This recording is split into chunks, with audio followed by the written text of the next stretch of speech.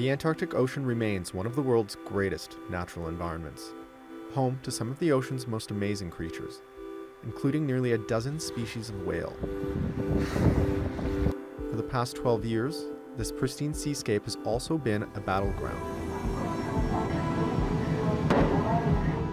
between Japanese whalers and the activists who chase and expose them. But now, the most prominent whale conservation group says the chase has been paused. Sea Shepherd says intercepting whaling vessels has become too difficult. They accuse the Japanese government of supporting whalers with advanced military surveillance, making it possible for whalers to track anti whaling vessels in real time. Sea Shepherd claims most of the credit for massive reductions in Japanese whaling quotas, from more than 1,000 whales in 2005 to below 350 today. But there are now concerns that without the watchful eye of Sea Shepherd, that progress could quickly roll back.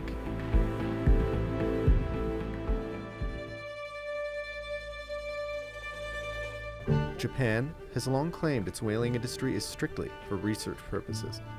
That's how Japanese whalers get around an international moratorium on the practice in place since 1985. The international community and conservationists have long contested Japan's version of the story. In 2014, Australia won a temporary ban on Japanese whaling in the International Court of Justice. But Japan resumed its scientific hunt a year later. We have to agree to disagree. And however, that does not mean we'll take all whales. Nations including Australia, the US, and New Zealand have maintained their opposition to whaling. But the founder of Sea Shepherd says it's not enough, going so far as to accuse the three nations of being in league with Japan, putting economic interests ahead of the rule of law, endangering a global effort to protect one of the ocean's greatest treasures. Basil Rehan, The Newsmakers. Well, to discuss this, I'm joined from Woodstock, Vermont by Paul Watson. He's the founder of the Sea Shepherd Conservation Society. And from Tokyo, Michael Penn. He's the president of the Shingetsu News Agency. Gentlemen, I thank you very much for joining us. Paul Watson, let me begin with you, sir. Why have you abandoned your pursuit of the Japanese?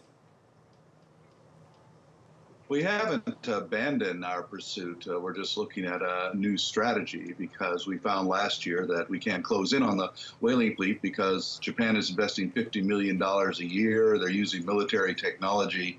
Uh, you know, they're operating in a larger area with a reduced quota. It makes it very, very difficult. So it would be uh, a waste of our time and our resources to go after them at this point. But uh, we will, we will return. What's your new strategy? Well, that we haven't developed yet. Uh, hmm. The other problem that we have is uh, the Australian New Zealand government refusing to uphold their responsibility and their obligations under international law to stop these uh, illegal activities. And so we're hoping that uh, with not going down there this year, that it will motivate Australia and New Zealand to actually send a vessel, which they promised to do. Right. I mean, you've called them hostile governments in the past. Is it really the fact that they're hostile governments, or maybe they just don't want to get into a fight with Japan. Can you understand that from a geopolitical perspective? Well, that's understandable, except that they're signatories to the International Whaling Commission, to the International Court of Justice. The International Court of Justice has condemned Japan. They're in contempt of the Australian federal court. They've been fined a million dollars, uh, which they refuse to pay. Um, Japan is uh, what they're doing is illegal, and it's the obligation, especially of New Zealand and Australia, to uphold the law in the areas under their jurisdiction. These whales, yeah. many of them are being killed in the Australian Antarctic territory. Yeah, Michael Penn, the man makes a good point, right? What Japan is doing is illegal according to international law. So why does it continue to do it with impunity?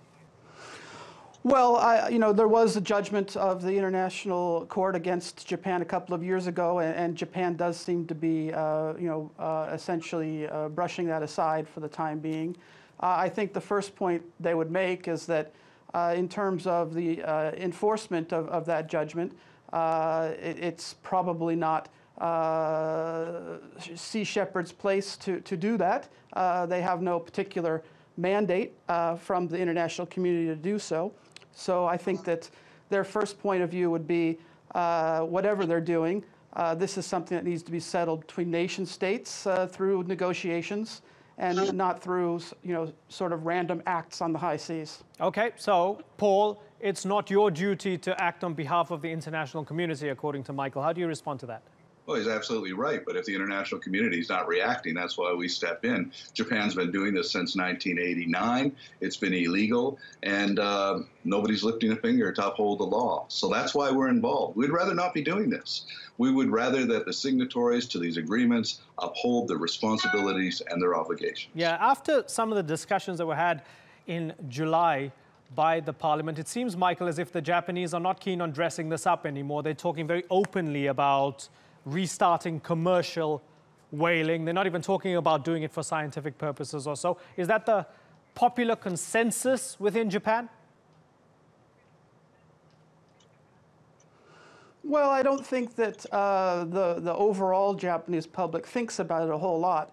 Uh, what it is, is, is there's some communities on, on the coastal Japan, which, uh, you know, this is part of their livelihood and their tradition, and they lobby the government uh, to, to maintain their industry and their traditions. So uh, I think that uh, that would be, you know, the, the, domestic situation is that there probably isn't a very heavy uh, pro-whaling lobby, but uh, there isn't a very strong uh, counter lobby on the other side, which is the different situation from most of the rest of the world, where you have, say, an environmental lobby which would like their governments to crack down on, on whaling, but there's no whaling industry on the other side as kind of a counterbalance. Mm-hmm. Michael, is there an acceptance that Japan doesn't need to do this for scientific research, which has been the reason given to the international community for the past couple decades? My understanding is, is that uh, Japan has not uh, abandoned the, the reasoning that uh, this is an issue of, uh, of scientific research. Uh, in terms of uh, restarting commercial whaling uh, without, uh, without any cover or without any rationale of it being related to science. I haven't heard that. It, it, may be true, but that's not my understanding at the, what the current policy is. Paul, do you accept that some of this can be done for the purposes of scientific research? Well, it's not my uh, position to determine that. That's the International Whaling Commission. Uh, that's um, their response. They've said that it's not science. The International Court of Justice has ruled that it's not science, as has the Australian Federal Court. But uh, this is there's nothing traditional about going down to the Southern Ocean and killing whales in defiance of international law. Uh, Japan has no tradition of that. And uh, so this is the reason this is happening is because the Institute for Cetacean Research is a government corporation, and the people who sit on that board have been appointed for political reasons. Are all friends of the government. Uh, the Japanese people as he, as he said, are, they don't care one way or the other. But the world community does care. And Japan has to, uh, at some point, recognize that. It's already backfired on them because when uh, the International Court of Justice ruled against uh, China over the Philippine uh, dispute, they ruled in favor of uh, the Philippines. Uh, Japan said, okay, you, have got a ruling, you have to obey by this. And the Chinese said, well, you don't have to, so why should we? So it set a very dangerous precedent. Uh, Michael, is there an element of embarrassment when it comes to the, the fact that the Japanese are just flagrantly violating international norms and continuing to do what they want to do when it comes to this specific issue? Because Japan is, is very much on side when it comes to everything else in foreign relations. Yeah, that's right. I mean, Japan, you know, is a general rule uh, is a country which uh, takes uh, international laws and international engagements uh, somewhat more seriously than most other countries in the world. And, and in a sense, that this issue is kind of an outlier uh, in, in, that respect. Uh, in terms of you know a sense of embarrassment, well, to be honest, you know the Abe administration has not shown any public evidence of that. They, they, constantly talk about the rule of law at sea in regard to China and the South China Sea issue, and they seem to do so without seeing any connection between that issue and, and this issue. So I, I do agree that uh, you know, it doesn't, it doesn't fully uh, comprehend the two issues if you put them together. Right. Paul, when you said you're not abandoning uh, your pursuit, but you're changing tactics. How much of this had to do with the fact that there were those who believed that you had a just cause, but didn't really back your tactics because there were those and some very mainstream voices who said that your tactics endanger lives, that you shouldn't be taking on these vessels. Did you factor that in at all? Uh, we've caused no injury in the entire time that we've been down there since 2005. But what we have done is saved over 6,500 whales. We've helped to reduce the quota from 1,035 to 333. We've made this an international issue, especially through our television show, Whale Wars. And uh, we assisted in providing evidence for the International Court of Justice. I think we've done quite a bit. Uh, but at some point, um, we, you know, we simply can't, we have to operate within the boundaries of practicality and the law. And Japan has also just passed new anti-terrorism laws, right. uh, which some of them are specifically designed for Sea Shepherd.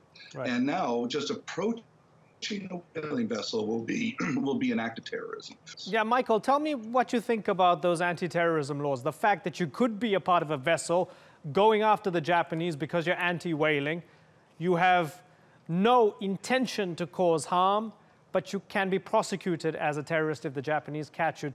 In terms of what the Japanese government's position would be, is I think that they're signaling that, uh, that you know, they, from their point of view, there's an attempt to bully them on the issue of whaling, and they're not going to give in to it. They're going to respond uh, in a tough way. Paul Watson and Michael Penn, it's been good to talk to both of you. Thank you very much for joining us on the Newsmakers.